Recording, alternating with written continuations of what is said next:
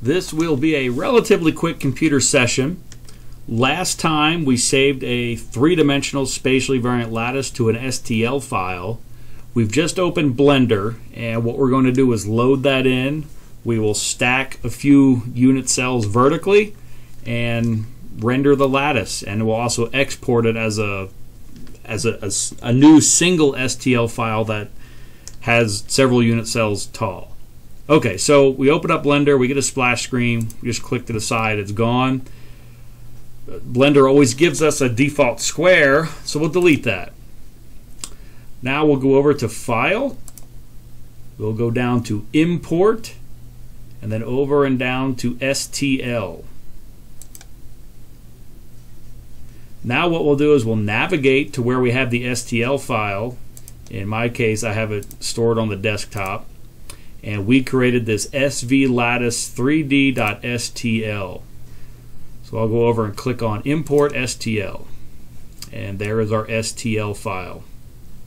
Now one thing just for cosmetics, we will we see the faceting on the surface, we actually see the little triangles and the lighting. If that bothers you, over on the left, as long as we have the tool tabs clicked, we can go down to smooth and it smooths that out. Um, I'll go back to flat just to see the faceting. But, uh, but there's our lattice. One thing we might want to do is shrink it down a little bit. And if we press the letter S, now we're in the scale mode and we can shrink it down to whatever we want to. So I'll click the left mouse button and there we are. Okay, now what we want to do is stack this on top of itself and maybe we want something that's five unit cells thick. So let's go ahead and do that. And we'll click on this wrench symbol, which is the modifiers tab, and there's an array function. Now if we zoom out, notice it has arrayed this in the horizontal direction. We, we don't want that. And that's because over here, we're telling it to space it by one relative offset in the x direction. So we'll type a 0 in there.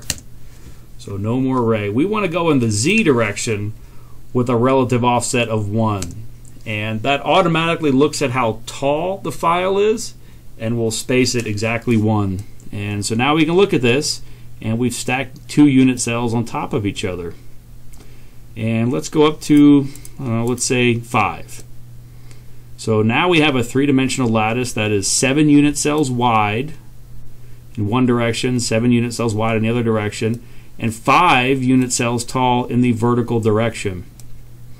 And we could hit apply at this point if we're happy with that. And there is our three-dimensional lattice. Um, if we wanted to save that as a single STL file, this new larger lattice, we would go down to Export, STL as long as we have our lattice selected. And let's navigate to where we're storing all of these. And let's name it the same name we have before but we'll name it with an underscore stacked.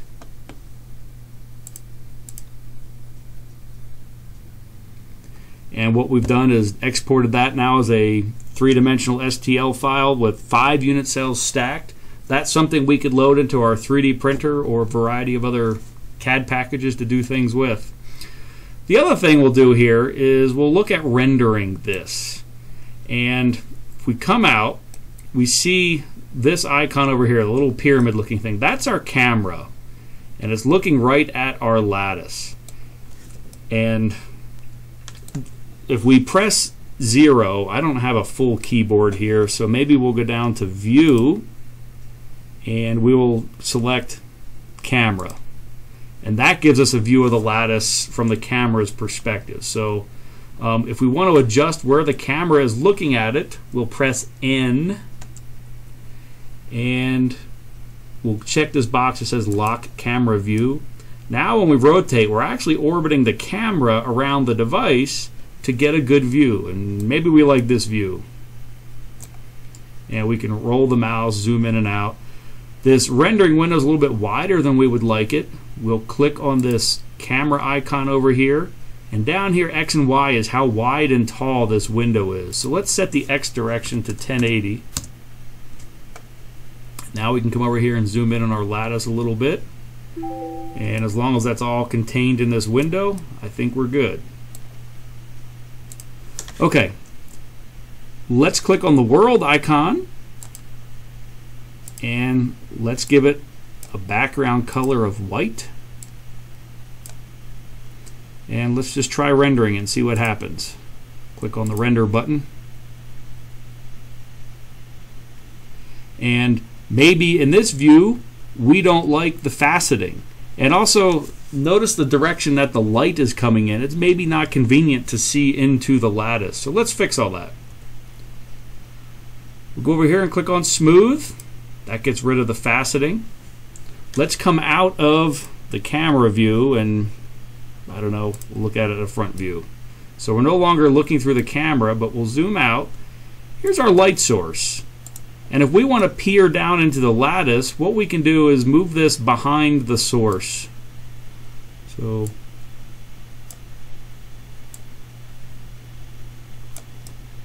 and then we'll look at it vertically. So that looks pretty good. It's behind the source and we can try rendering it again and that looks like a pretty good lattice. Let's see if we can make it the ugly MATLAB green. So we'll click on the object with the right mouse button. We'll come over to this brown looking world, that's the materials. And we'll assign a new material type. And the diffuse color is the, the color that will look like. Let's go over to ugly MATLAB green. There's a lot of parameters we can control here, but Let's just see what our ugly green looks like. Um, we'll do one other thing just to be fancy. Let's make the lattice a little bit transparent. So we can come down here on the Materials tab, and there's a Transparency button. We'll click that. And there's an alpha parameter here. As long as this is set to 1, the object will be completely opaque. If it's set to zero, it will be completely transparent, and anywhere in between is something else. Let's just try 0.5 and render it.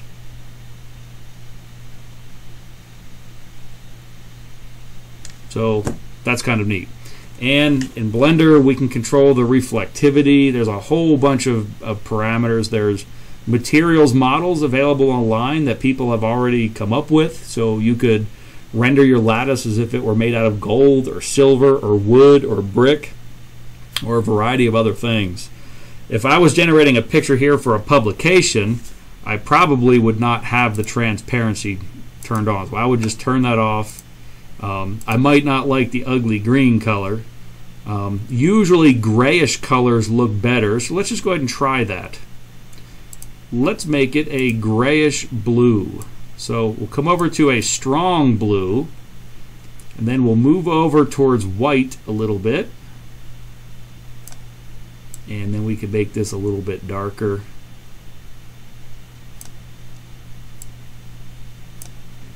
Move a little bit more towards white. So grayish colors tend to look a little bit better. Let's give this a try. So we have a nice grayish blue. Uh, maybe I'd brighten that up, but you get the idea. So Blender's a great tool for manipulating STL files and particularly rendering. Uh, it's beyond the scope of this computer session to, to animate, but we could animate this spinning in a circle or, or all kinds of crazy things.